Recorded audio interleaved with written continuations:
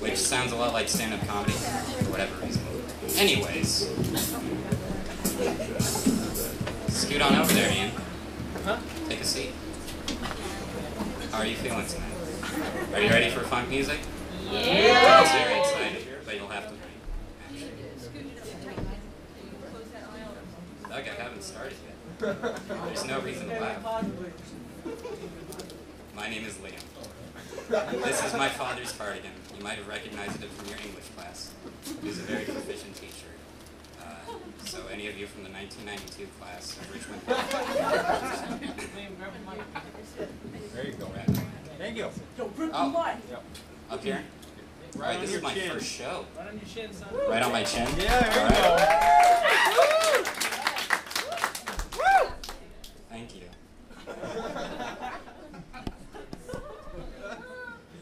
As we all know, there's not much of a mix between funk music and comedy.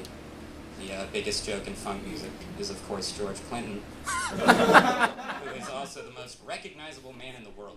You could put 500 George Clintons in a room with about 500 Hitlers, and you show that photo to someone, and they will say, "Why are there so many George Clintons?" There is no, you, you can't think of a situation where you couldn't immediately pick out George Clinton. There's no Where is Waldo George Clinton edition. It would be 30 pages of macaws and sequin conventions and yarn expos. And you would still be able to po- point out George Clinton. That book would never. There's already the musical Where's Waldo, and that's finding uh, John Stamos and Beach Boy music videos. And it's not, it's weird because they're not even the obscure fringe Beach Boy music videos. They're just like Kokomo. Like, really? John Stamos is in Kokomo? How do you play that game? How do you play the Find John Stamos and Beach Boy music videos? Well, I'll tell you. You pick out a John, you pick out a Beach Boy music video, and then you look in the crowd of uh, Greek Adonises and neon tank tops, and you try to pick them out. And it's impossible. And the Beach Boys know this. They know how hard it is to track John Stamos because they had to find him for the music videos. because there's no way John Stamos called up the Beach Boys and was like, hey, you should let me be in your music videos. I'm John Stamos. It was obviously the Beach Boys doing. And they found him. They tracked him down and said, Stamos, come be in our music videos. And so, knowing that, if you can't find John Stamos in the Beach Boy music videos by about a minute and a half in, they'll help you out. Three second spot of Stamos on the congas, right there. And then after that, it's just spot the Stamos. You just watch the music video looking for the auxiliary percussion. And every time you're like, wait, that's John Stamos on the congas, right there, that's great.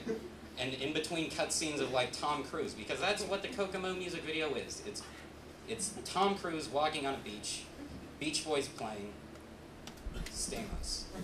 And I thought that was odd because there's already, you know, Stamos and the Beach Boys. I thought the only connection between Full House and the music industry was the fact that Alanis Morissette wrote all those songs about Dave Coulier, which was weird because Dave Coulier is like 20 minute, 20 years older than this and she's writing love songs about him. So between the Beach Boys and Stamos, and Dave Coulier and Alanis Morissette, that's about all of music. All of music lies between Beach Boys and Alanis Morissette. And I'm only assuming because Stamos and Coulier have a spot, Bob Saget lies somewhere in between. And I found him. He plays bass drum for our school, mar- school marching band. And I know this because when me and two other strapping young lads from our school newspaper played the varsity basketball team, he was there. I came out and I tickled uh, Andrew Hutchins, the star guard, at the tip-off, winning it, by the way.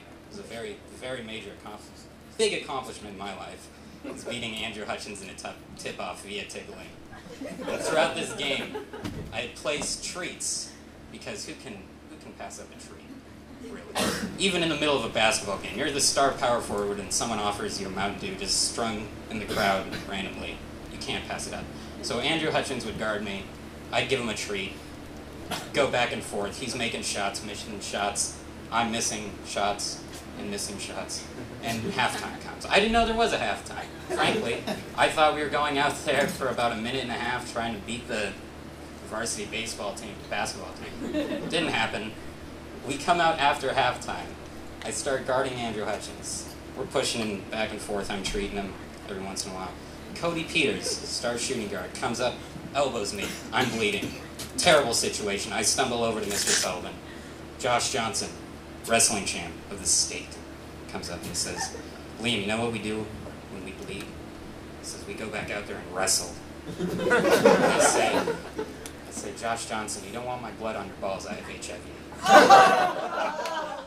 and as, I- as I'm escorted out of the gymnasium, I look over, and there's Doug Mason. I'd like to bring him up here. Doug Mason, and Ian, and Max. What the fuck? Please do. Yes, sir.